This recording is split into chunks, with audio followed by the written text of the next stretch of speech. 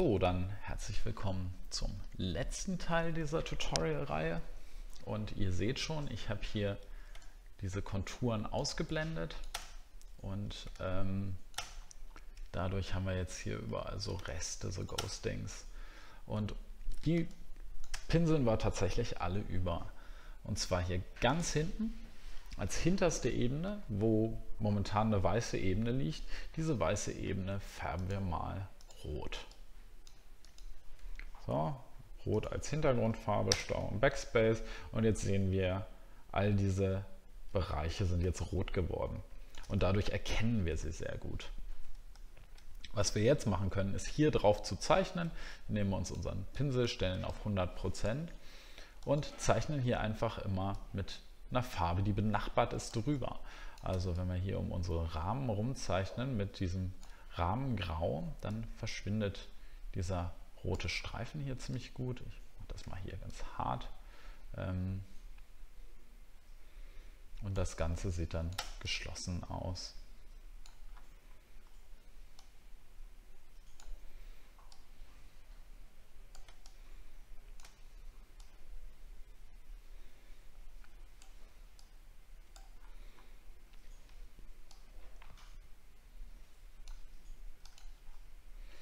Kann auch einmal klicken, Shift gedrückt halten und ein zweites Mal klicken, dann verbindet er die zwei Punkte mit dem Pinsel.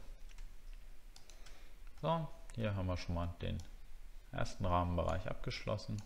Durchgucken, habe ich irgendwo was vergessen. Hier nochmal rüber gehen. Zack. Ähm, super. Und hier gehen wir dann entsprechend nicht mehr mit Schwarz bei, sondern mit so einer dunkelgrauen Farbe, die ich mir hiervon gepickt habe. Ich kann, indem ich die Alt-Taste gedrückt halte, hier einfach die Pipette benutzen und einfach irgendwas hier auspicken. Dann hier entlang gehen. Und dadurch, nur dadurch, dass ich die Nachbarbereiche auswähle, kriege ich hier schon sehr gute Ergebnisse. hier vielleicht nochmal reingehen, das ein bisschen dunkler machen. Hier haben wir nämlich ein größeres Stück vergessen. Und es geht jetzt eben darum, alles, was hier rot ist, nicht mehr rot zu haben.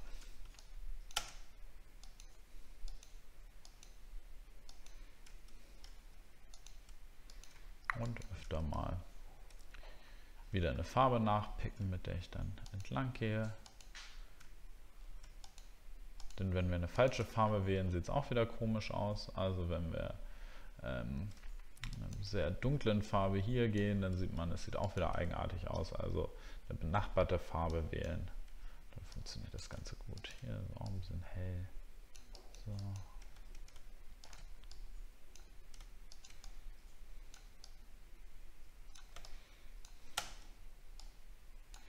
Und so wollen wir hier möglichst alle unsere roten Bereiche rauskriegen. Das ist ein bisschen Arbeit. Das ist aber durchaus machbar.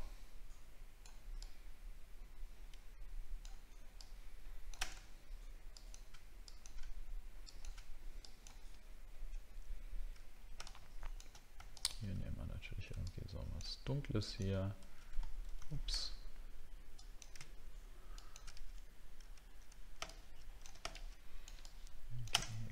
drüben. Hier dann wieder mit zum Grau lang gehen.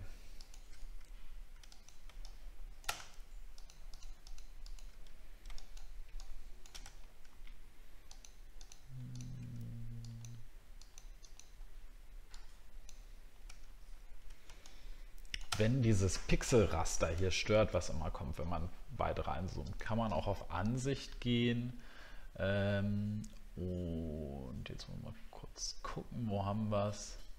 Denn das Pixelraster kann man eigentlich ausstellen.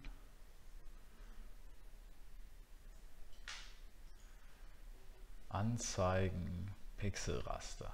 Da kriegt man es los. Mich stört das häufig. So, jetzt in diesem Bereich hier, zack. Hier haben wir auch noch ganz viel Rot. Oh ne, das gehört tatsächlich zu den Bäumen. Hätte mich auch gewundert.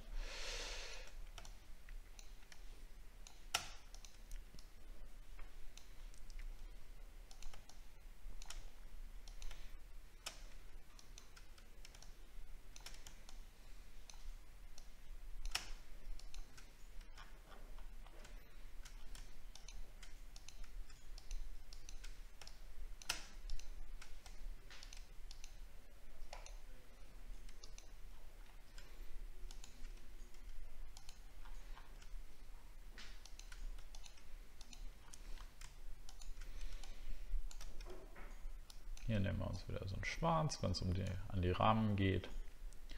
Genauso wie hier.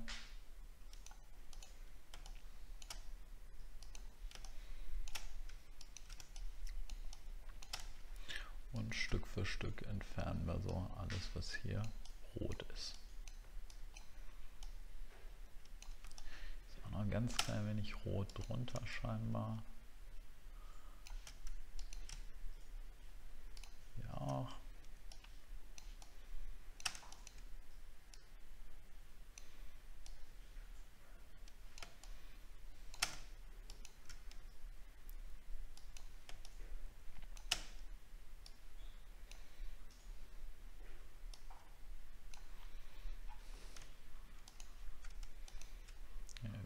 Schwarz rein. Dass wir hier schön an den Rand gehen.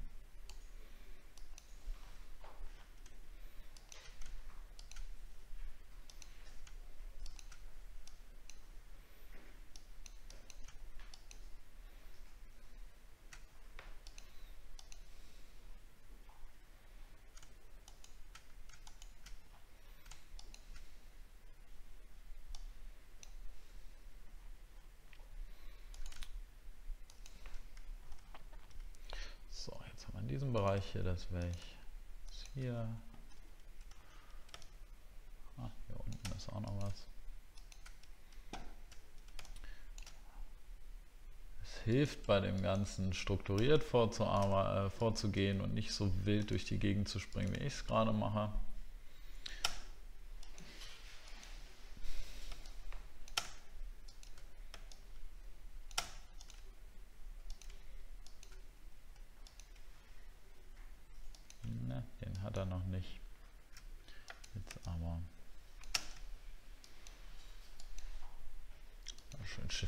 Halten, wenn wir Punkte verbinden wollen. Den Bereich hier oben jetzt noch.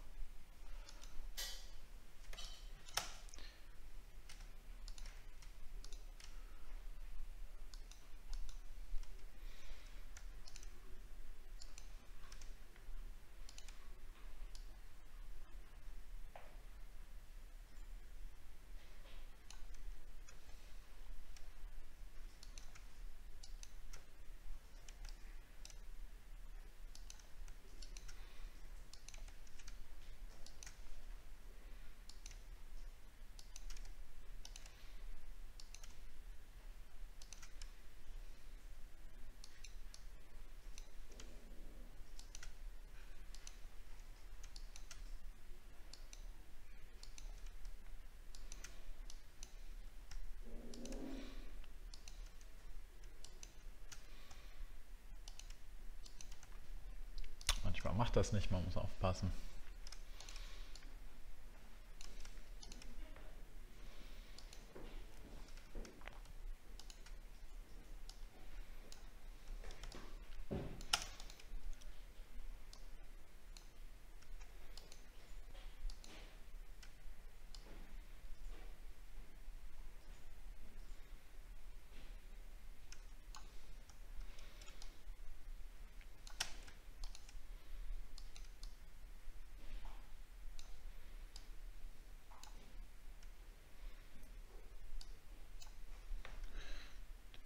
Besser aus. Das ist noch eine ziemlich schwarze Stelle sonst geworden. So, gucken wir jetzt erstmal, ob im unteren Bereich noch was ist und dann machen wir mit dem oberen Bereich da weiter. Hier scheint alles weg zu sein. Hier auch, gut, dann machen wir nur noch den oberen Bereich. Vielleicht diesmal ein bisschen strukturierter. Ich fange hier mal mit der Kante an.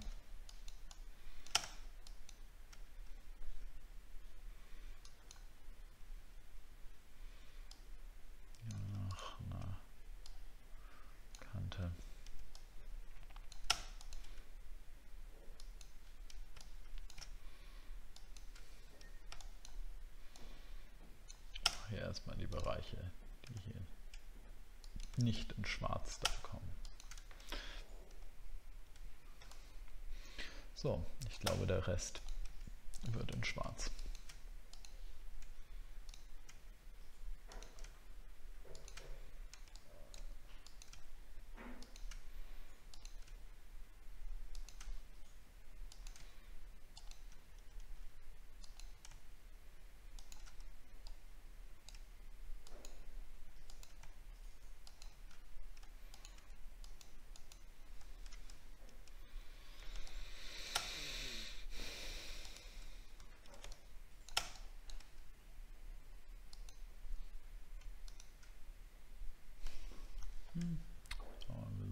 Voreilig.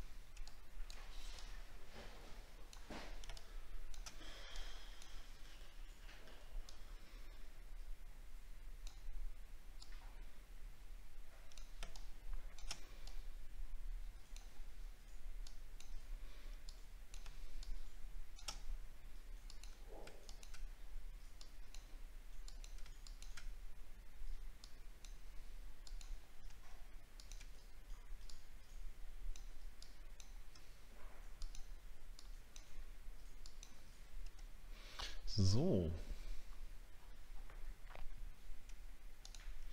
Ich glaube, na, hier ist noch was.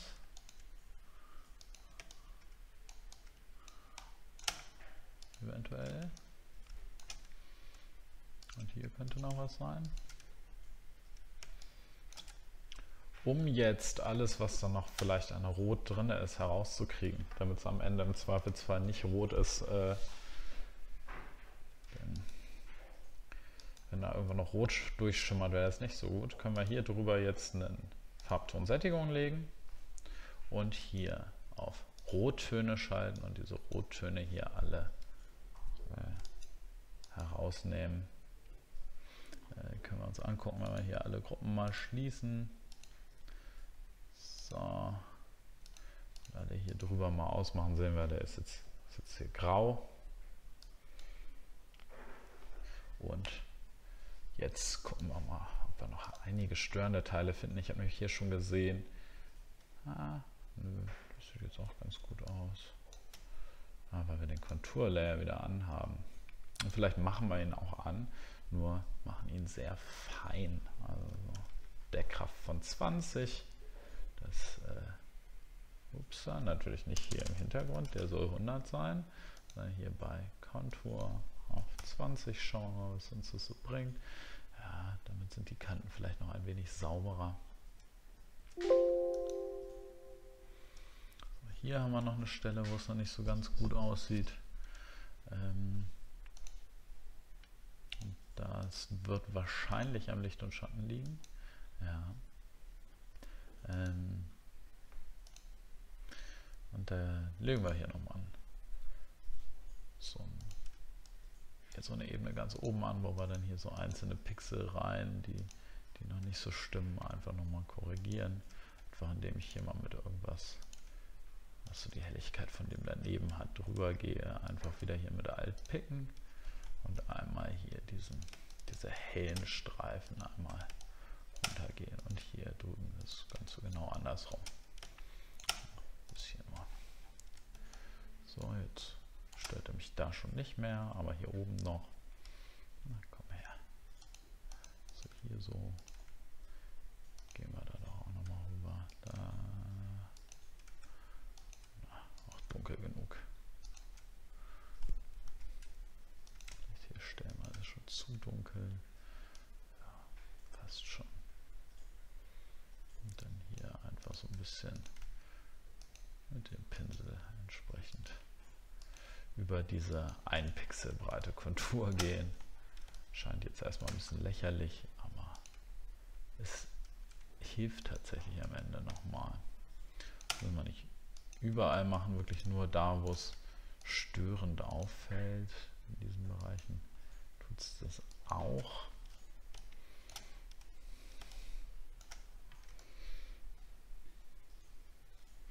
Und eventuell war es das sogar schon weil man vorher darauf achtet, dass sich alles schön überlappt. Dann hat man die Bereiche nicht so und die kommen hier wirklich nur noch in diesen Schattenbereichen vor. Gut, das Bild ist soweit äh, abgeschlossen und jetzt kommt noch so ein bisschen Staffage und so ein bisschen ähm, Anpassung. Also ich habe hier in meinem Vorlagebild, was natürlich irgendwie den Schatten falsch hat, habe ich hier so ein paar Vögel reingesetzt. Ich hier auch. Die kann ich mir hier einfach reinziehen. Das ist ein PNG-Bild. Entsprechend ist das, äh, hat das schon, ist das schon ausgeschnitten, das ist schon freigestellt. Kann ich mir das einfach reinziehen und hier irgendwie die Vögel einpassen. Und dazu lege ich hier drüber nochmal einen äh, Staffageordner an. Also, äh, ja, neue Gruppe, Staffage. Und oh, hier noch so violett, machen wir das mal violett. Hier die Vögel, äh, sind mir momentan noch zu dunkel, also auch da nochmal eine Belichtung drüber. Ein bisschen heller machen, Na, vor allem mit Gamma-Korrektur, so wie es aussieht. Bei Gamma-Korrektur werden speziell die dunklen Bereiche aufgehellt. Ja, so vielleicht. Das Ganze noch mal kleiner. Upsala. Ein bisschen mehr hier runter. Hier in so einem Drittelpunkt unseres Bildes sind. Und ähm, dazu setzen wir noch mal einen Menschen hinein. Dann haben wir diesen hier. Der sieht hier ganz gut aus. Spiegel den O natürlich nicht hier hin, nicht diese Ebene angewählt haben, weil dann wird er auch hier drunter unter diese Belichtung gepackt. Wenn wir die Belichtung anhaben, kriegen wir den so. Horizontal spiegeln hier so hinstellen. Ich habe das jetzt relativ frei Schnauze die Größe von dem gemacht.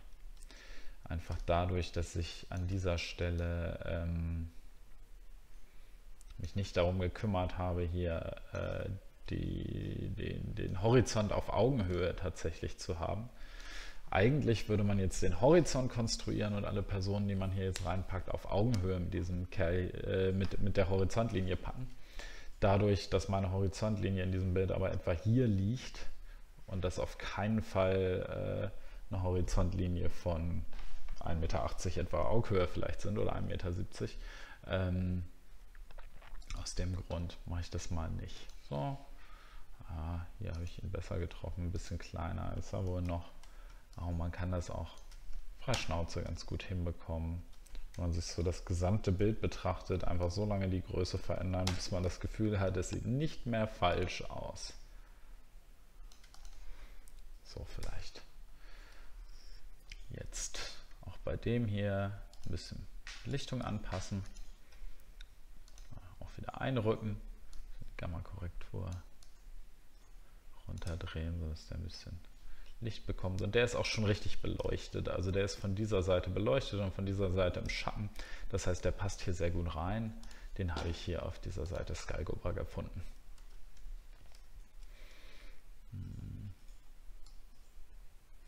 Und vielleicht kriegt er auch nochmal so eine leichte Goldtönung, nochmal so ein Fotofilter da drauf. So hier ein bisschen golden machen. Was natürlich jetzt noch fehlt, ist ein Schatten für ihn. Dafür kopiere ich ihn mir einmal hier die Ebene. Kopieren kann man, wenn man Alt gedrückt hält und eine Ebene dann einfach hier so verzieht, dann lege ich eine Kopie davon an. Ähm, und jetzt wieder mit meinem Steuerung T das Ganze verzerren und hier einfach so ähm, hier diese Richtung, in dieser Richtung muss auch etwa der Schatten hier verlaufen. Also legen wir das hier so auf den, auf den Boden, gucken, dass wir, dass wir hier diese Linie auch aufnehmen, dass das hier glatt drauf liegt. Und äh, vielleicht ein bisschen länger. So vielleicht. Und jetzt schauen wir nur noch, dass hier der Fuß richtig passt. Jetzt haben wir hier Schatten liegen. So, der soll jetzt natürlich schwarz irgendwie sein. Dazu nehmen, ne, haben wir die Ebene ausgewählt, gehen auf FX und sagen Farbüberlagerung und können hier eine schwarze Farbe auswählen.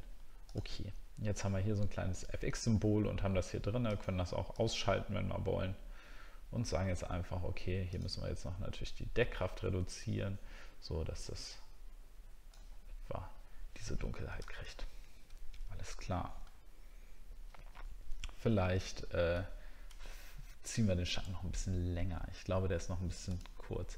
Dadurch, dass das jetzt hier auch ein Smart Object ist, wie man hier dran sieht, weil ich es direkt reingezogen habe, dann wird es zu einem Smart Object. Dadurch merkt er sich auch die Position, wie das verzerrt ist. Also ich kann es dann einfach weiter verzerren, auch das sehr praktisch. Und ein weiteres gutes Ding, dieser hier hat momentan so ganz viele Schneeflocken auf sich. Wenn ich hier mit einem Doppelklick auf die Smart-Ebene gehe, dann zeigt er mir hier momentan nochmal einmal das hier. Ähm, und dann öffnet er mir diese Ebene, genauso wie sie ursprünglich geöffnet war, in einem extra Fenster und ich kann die hier verändern. Also wenn ich mir hier zum Beispiel jetzt hier so einen Stift auswähle und hier mal diese ganzen Punkte hier versuche einmal wegzumachen von den, zumindest mal den großen Schneeflocken. Ich mache das gerade einfach mit dem Stift, das ist nicht die sauberste Methode, aber funktioniert, so klein wie der da dann im Bild ist. So, machen wir hier mal so ein paar weg. Könnte das jetzt wirklich ganz genau machen, weil der läuft natürlich hier gerade durch den Schnee, aber er ist dann so klein. Ich glaube, das fällt sowieso nicht sonderlich auf. Also lasse ich es mal dabei. Upsa. Und sage jetzt Steuerung S, um das Ganze zu speichern. Und auch hier sind jetzt diese Bereiche erschienen, also, beziehungsweise diese Änderungen vorgenommen worden. Ach, ich scrolle gerade zu viel. So, nun haben wir hier also unsere Person drin und jetzt will ich ganz oben noch einen, einen Bereich anlegen, wo ich noch ein paar Filter drüber schmeiße. So, das nennen wir Top Adjust. Ordner oben. Was für eine Farbe haben wir noch nicht? Ähm, rot. Und ähm, da rein mache ich erstmal eine leere Ebene, denn ich möchte jetzt eine Vignette anfertigen. Das heißt, dass das Bild nach außen ein bisschen dunkler wird. Das ähm, kommt einerseits daher, dass wenn man das bei der Fotografie hat, wenn man Kameraobjektive hat, dann, dann äh, sind, die, sind die Bilder, die man damit schießt, außen ein bisschen dunkler, einfach weil in das Objektiv an den Stellen nicht so viel Licht reinkommt. Äh, gleichzeitig kann es aber auch so den Betrachter ein bisschen lenken. Ähm, ich mache hier also erstmal die Ebene schwarz, ja, richtig schwarz hier. Und wähle mir jetzt hier mein Ellipsenauswahlwerkzeug aus und mache hier eine drei, äh, weiche Kante von etwa 500 Pixeln. Und dann ziehe ich hier einfach einmal von Ecke zu Ecke und er macht hier einen Verlauf dazwischen. Und wenn ich das hier jetzt entferne, beziehungsweise hier für eine Maske anlege und die invertiere, dann habe ich hier die Außenkanten ganz schwarz und jetzt einfach die Deckkraft ein bisschen reduzieren. Man sieht, das Ganze wird einfach ein bisschen, bisschen zentriert hier. Außerdem ist mir ein klein wenig zu dunkel alles, also gehe ich einmal in eine Belichtungsebene rein, die lege ich da drunter und das ganze Bild nochmal oh, so ein bisschen heller. Und ähm, dann gibt es noch einen Trick, um jetzt so ein bisschen noch Kontraste da reinzubekommen.